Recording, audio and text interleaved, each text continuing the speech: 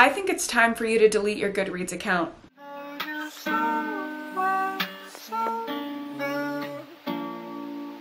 Due to recent events, in my opinion, Goodreads does not care about its users. They perpetuate misogyny, hate, and misinformation, and they want to silence you if you speak out about it. I will preface this video by saying if you've never seen my face before, if you don't know me, if you have no idea who I am, you're probably gonna need a little bit of context. In this video, I will be referring to some events that took place in August 2023 between myself and an author who I do not even want to utter his name or give him any more publicity. His ego is plenty big enough. Every time I talk about him, he gets something out of it, I truly believe. So I will be referring to him as Rat Claw. He's just like a little rat claw, just like a little rat clawing around.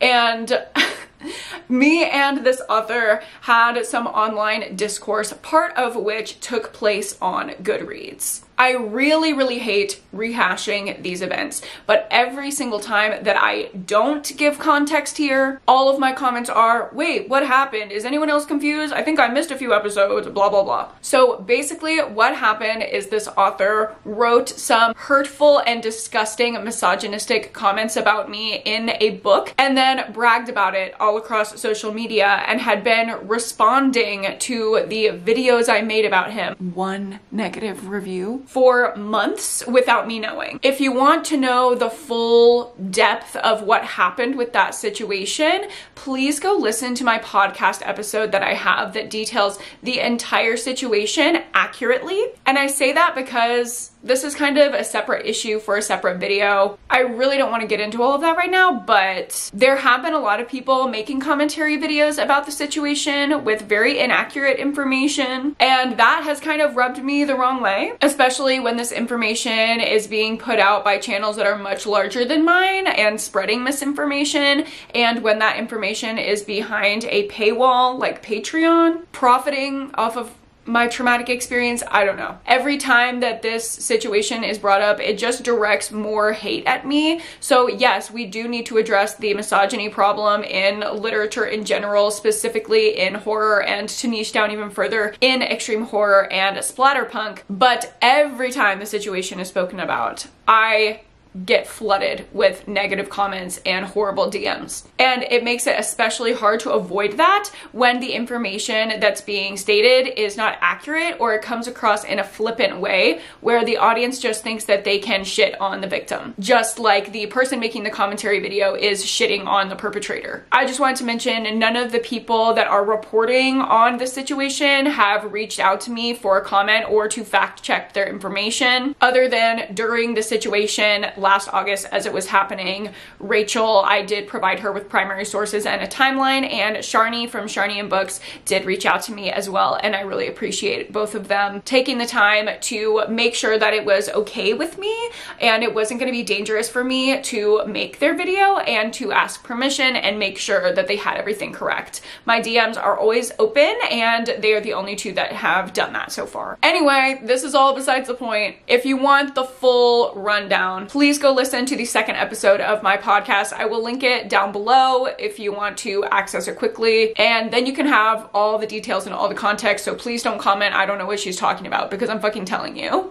what I really want to talk about today is a new development related to the situation that has to do with Goodreads. I think if you're a reader or you found yourself watching this video, you probably know what Goodreads is. It's probably the most convenient and most widely used reading, tracking, and statistics app or website available. Most people use it to track their reading throughout the year. They set a goal for how many books they're gonna read and they use it to share reviews with a community of readers. Now there are many alternatives to Goodreads, which most people I, I, guess tend to not know about. But during the pandemic, when I was prioritizing not supporting Amazon as much, I did switch over from Goodreads to the Storygraph. I just think it's a better platform overall. The stats that they provide are really great. I use them in every single one of my wrap up videos. And they have a much more accessible, easy system for searching books that you want to review. Even if you're searching for an indie published book that is not on on their website. You can add in the ISBN yourself and manually add it, which I think is really cool. I also recently discovered the Fable app, which is, I guess, more similar to Goodreads in that it is community oriented. So there are a ton of reading tracking apps out there that are based on community and reviews and statistics which is really what Goodreads provides. But I think a lot of people are drawn to Goodreads, not only because it's owned by Amazon and that entire conglomerate, which is just more accessible to people, but also because of the connection to Kindle and Kindle Unlimited. I have a Kindle, and when you're reading on your Kindle, as soon as you finish a book, it prompts you to rate it, and that rating goes on to Goodreads. So it's just ease. What I'm proposing here is that we overlook ease and convenience for just a second. Maybe we put that to the side side and look at the ethics of Goodreads themselves. I have personal experience, which I will share, but I believe that my personal experiences have systemic implications. A couple months ago, I received an email from Goodreads regarding my reviews. I will read that for you now. It says, a notification about your Goodreads review. Goodreads takes the responsibility of maintaining the authenticity of ratings and reviews and protecting our diverse community of readers and authors very seriously. As a part of this, we are removing not just mine, all ratings and reviews added during a time of unusual activity on this book, the book in question that this author wrote, including yours. If you would like a copy of your review, please let us know before this date. As a reminder, all content posted to Goodreads must follow our community guidelines, insinuating that I broke them. You can learn more about our work to protect the authenticity of ratings and reviews on Goodreads in our community update here. Sincerely, the Goodreads team. So when I received this email, immediately I felt a pit in my stomach. It felt like a massive betrayal. And when I received it, I literally just sat and cried in my car because it felt like I was being silenced all over again. It was like this massive platform that has a lot of power just took a look at the situation and sided with the oppressor. They basically said, You're in the wrong, you broke our community guidelines, and took the side of misogyny, abuse of power, and internet stalking, which is what this was, and alleged defamation as well, because they are keeping a book on their website that has allegedly defamatory remarks against myself, and they are not going to provide a disclosure or let my review stand on their website so their users know when they're reading reviews what they're getting into if they might pick up this book they would not allow my review, which gave accurate information as to what the book includes and what someone might be supporting stay up on their website. And we've been through this part of the issue before, which is I did not read the book. Okay, no, I'm not claiming to have read the book. I'm not lying. I've never said that I read the book. Even in my review, I clearly stated I did not read the book. My review was not coming from a place of, I read this book and here's what I thought about it. My review said, this book was inspired by me a real person. It calls me out by name in the dedication, it's misogynistic, and it's disgusting. In no way did I ever claim to read the book, but those are all true things about my feelings about the book. You could say that I read the dedication and acknowledgments and then DNF'd it. To know that my review was completely disregarded and just taken down makes me feel incredibly unsafe. And it also lets me know that Goodreads did zero research into the situation. They just went ahead and silenced the victim. And they took down every single review that happened in this time of quote suspicious activity. And I know that this is a controversial issue around review bombing. I do not support that in any way. If you haven't read a book and you don't know anything about it, you really shouldn't be giving it a review unless it's personal to you. Like, I don't think we should expect Brittany to read Jamie Lynn's book and give it a negative review after she read it. She lived it. It's about her. She's allowed to give it a negative review without reading it. It's okay to call out the systemic and negative implications in a piece of literature without having read the whole thing. And this gets even trickier once we start introducing DNFing into the conversation, which I'll talk about that a little bit later. But I also happen to know that a ton of my very dedicated, very sweet, amazing followers did read the book in full in order so they could give a fully informed review that would stay up on the platform and not break any community guidelines. They were very well thought out, well worded, and they did not attack the author in any way. They were objective reviews of the literature. To know that all of my followers that did that, that invested their time into this disgusting piece of material in order to help me, their reviews have just been taken down,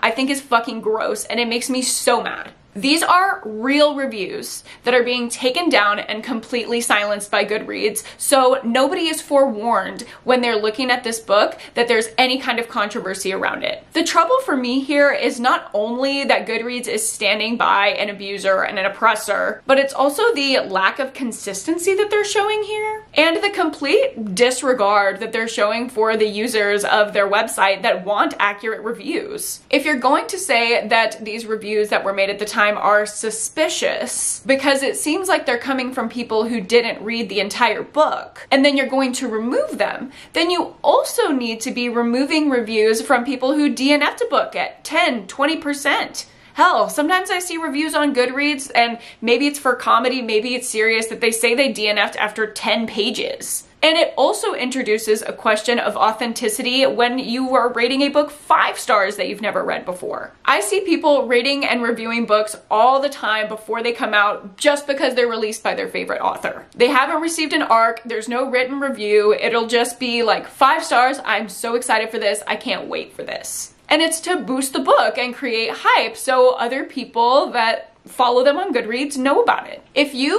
are so concerned with the accuracy of your reviews, those should not be posted as well all of those need to be taken down. I also have an issue with Goodreads consistency in the way that they are approaching working with this author in general. The way that they're allowing some of this man's books to be on the platform where others of his have been removed in the past for violating guidelines. It doesn't seem like there is a very clear policy here at all that protects the safety of the site's users and the authors as well. I remember a few years ago, The Dare by Harley Laroux was removed from from Goodreads and I believe removed from the Kindle as well. And that really rubbed me the wrong way, especially at the time. There's nothing inappropriate about that book that's not disclosed in trigger warnings on page one. It's a kinky, smutty novella. And Goodreads taking it off the platform just read as like yucking yums. However, if that's the way that they want to run their platform with this certain moral high ground, I mean, I guess it's their prerogative and they can do that. However, keeping up a book like this, which is actually harmful to me, a real life person who's called out by name in the book and has been victimized within the dedication. And the author himself has said out loud on social media multiple times that I inspired the fictional parts of the book as well. It just all feels extremely hypocritical and inconsistent. Also, I mentioned earlier the inconsistency within this author's backlog. The actual listings for his books, not reviews, but actual listings for some of his books have been removed from Goodreads as a whole in the past. And that would be the Hub series, which I've spoken about before in my original video that inspired this situation, Aspen and I had a discussion about the extreme horror community, which was partly spurned by the release of Hub. Cannot believe that it's now a trilogy. Apparently 350 pages wasn't enough for child abuse content. We had to have three books of it. So they did not allow these books to be listed on the platform on Goodreads itself. And I remember at the time reviewers taking other books like Childcare for Dummies and using that listing to rate Hub and then putting the review for Hub in the comments. They were saying this is not a review for this book, this is a review for Hub, it's not available to rate here on Goodreads. And those reviews are allowed to stay up on the platform Besides the fact that the whole reason this author's trilogy was taken down and not allowed to be featured on Goodreads was because it is absolutely abhorrent. It goes beyond commentary and the wording used in a lot of the depictions of CSA in these books reads as over-sexualized and just absolutely stomach-turning and disgusting. It feels exploitative of children, fictional children, but children, and exploitative nonetheless. So Goodreads made the decision to remove the books and not have them available for rate and review on their website. And I agree with that. I don't necessarily agree with their call on The Dare by Harley Laroux, but whether I agree with it or not, that was the moral high ground that they were taking was like, we're not going to allow this type of content on our platform to be reviewed. However, a book that was dedicated to me is allowed to stay up on the platform and the reviews are taken down.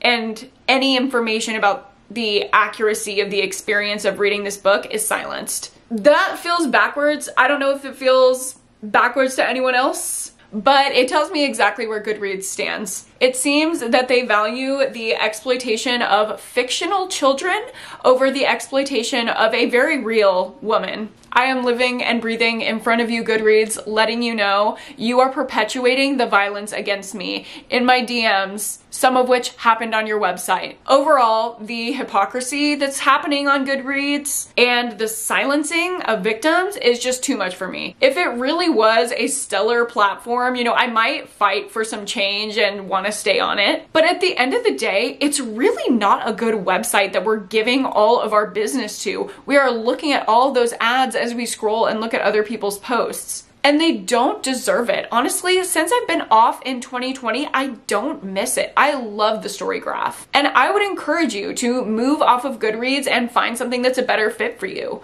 Whether that's uh, using somebody's template that they make. Some people have really cool reading tracking templates on Etsy. You can also use the story graph or Fable, which I'm getting into as well. You can host a book club on Fable, which I will be doing with my Pretty Girl book club as well. We will host it over on Fable. And to be quite honest, honest, like it's been memed to death. Like readers have been clowning on Goodreads for so long now. Just the antiquated aspects of their website, the search feature. Let's actually do something about it instead of just clowning on it. Choose to support another platform that is not this massive conglomerate that is run by Amazon and doesn't give a fuck about readers. I would much rather support a website that is run by people who deeply care about reading and reviewing. Also, I thought it was hilarious that Goodreads cites their love for diversity in the email that they sent me when we all know the books that are on the recommended page, the books that are on the homepage.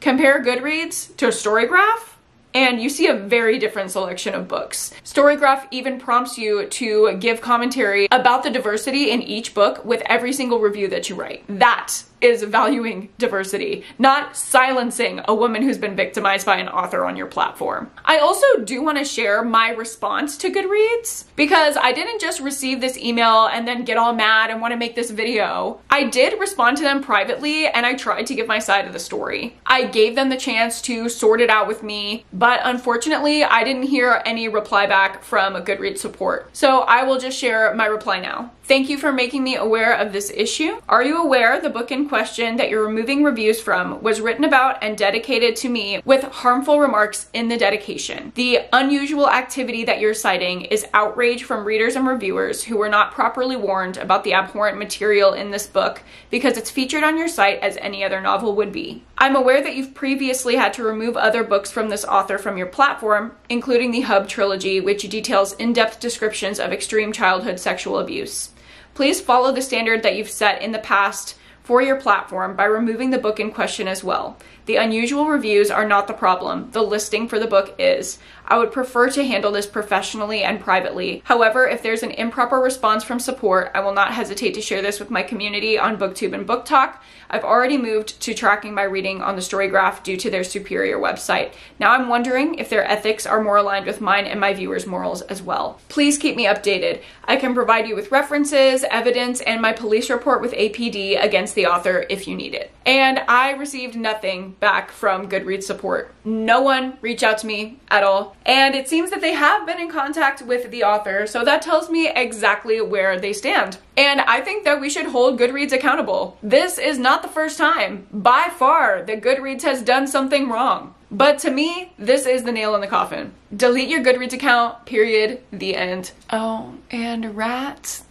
because I know you're watching. Hey, bestie. If you think that I'm eventually just gonna roll over and give in to this covert attacking that you are continuously doing, all the digs that you're taking at me, you're wrong. I will fight back on you with such feminine power that A24 will have to create a cinematic universe around it. And to everyone else, thank you so much for watching this video. I really, really do appreciate it. And I know that there's gonna be a ton of negative comments on this video, okay? Please do your best to ignore the misogyny in the comments. Do not engage. They are literally just mad that they've never felt the touch of a woman, so the last thing you should do is engage with them. They are feeling it through the screen. They are feeding off of it. Do not give it to them. Just let their comments sit there unanswered and abandoned like their mommies and daddies probably did to them, which is why they are all up in this twisted logic to begin with. I promise my next video will not be this serious and we'll be back to reading thrillers, horror, romance, and speculative books and having a good time with it. Again, thank you guys so much for watching. I'll see you in the next one. Bye.